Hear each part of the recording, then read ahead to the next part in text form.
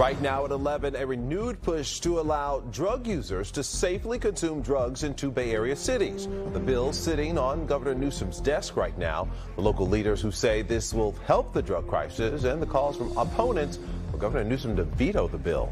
Thanks for joining us for our midday newscast. I'm Marcus Washington. And I'm Chris Sanchez. Laura Garcia has the week off. Now, this is a controversial bill that is now one step away from becoming law. SB 57 legalizes overdose protection programs or safe consumption sites.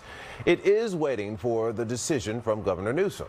NBC Bay Area's Ginger Conejero joins us from the newsroom with more details on this push Bay Area leaders say, Ginger, has to happen before time runs out.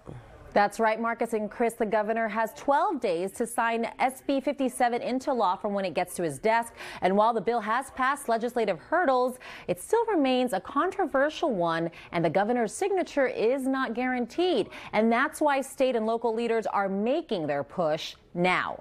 State Senator Scott Wiener, Assembly Member Matt Haney, Oakland Mayor Libby Schaaf, and other local leaders gathered to send a strong message to the governor. The bill needs your signature now. SB 57 legalizes safe injection sites, providing a sterile, a sterile place with needles and a safe place for consumption. It makes the case that these sites will save lives, prevent the dangerous proliferation of needles and drug use on city streets, and that it will will eventually save public money.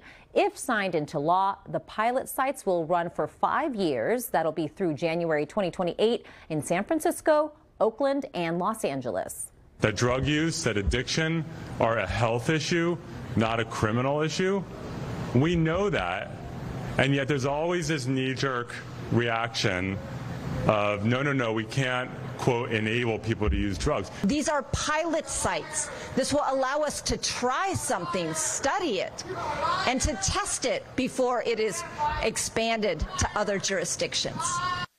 Opponents to the bill say the sites enable dangerous and illegal activity right on those city streets. Now, this measure is proposing addiction maintenance, they say, while the focus should be on addiction recovery.